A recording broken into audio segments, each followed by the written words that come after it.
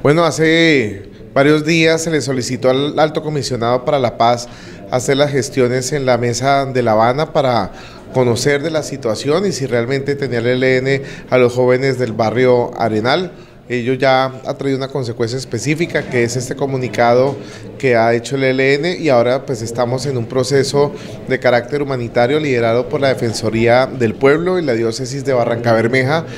que esperamos llegue a buen término. Y aprovecho pues para exigir al ELN la liberación inmediata, las buenas condiciones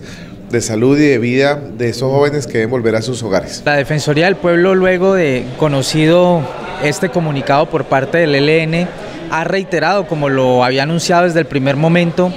eh, su disposición para activar los canales humanitarios que permitan el retorno de estas personas nuevamente al distrito de Barranca Bermeja y propiamente al seno de sus familias. La Defensoría, en articulación con la Iglesia, ha venido avanzando en ese propósito y estamos en toda la disposición, como lo hemos anunciado desde el inicio, que se tuvo conocimiento de esta situación para poder eh, realizar esa misión humanitaria.